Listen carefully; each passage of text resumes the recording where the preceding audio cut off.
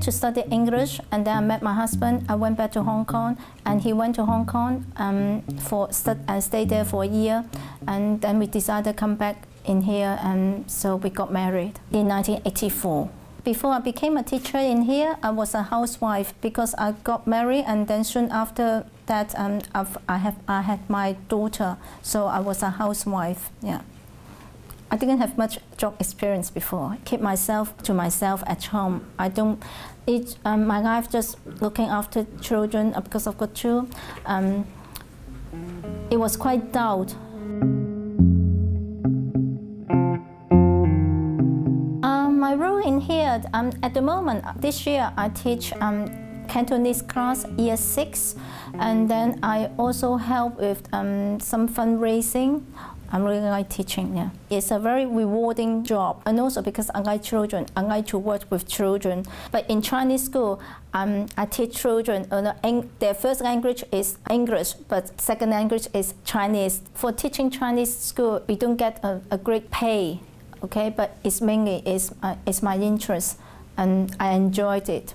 Actually, teaching is two hours, but because teaching it involves a lot of um, preparation and marking. Um, yeah, but I do, I do that at home. But Mandarin's um, the demand for Mandarin lesson is bigger and bigger, and also um, now we have uh, children come from another ethnic uh, background as well.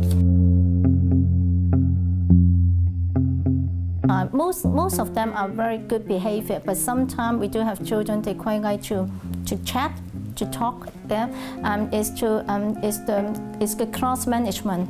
Uh, sometimes I find it quite difficult. I won't say they are enthusiastic, okay, to learn Chinese, okay. Most of them um, came here because of the parents want them to come here. As a parent, I did it as well. I sent my two children in Chinese school.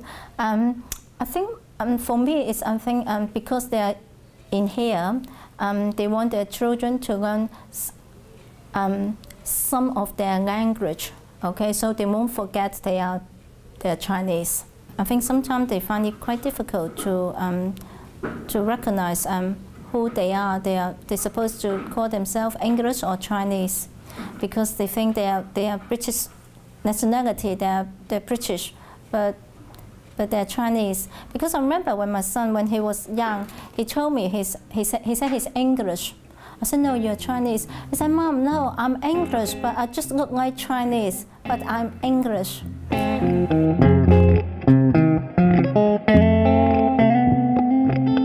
So, you know, I've made a lot of friends through this job with the parents, and sometimes, you know, if I see them in a Chinese supermarket or, or restaurant, and then they recognize me and we chat, you know, um, that's, that's really nice. Yeah. No, I've been here 19 years. I think the first years, the teach, um, children um, I've taught, they are like they finish, um, they even graduate. Okay, they've graduated. Um, um, they are 24, 25 years old now. Okay, they are taller than me, and it's like um, we're friends now. Um, but because of coming here, I've, I've got I built up my confidence. I've become more confident, and I've got the experience in teaching.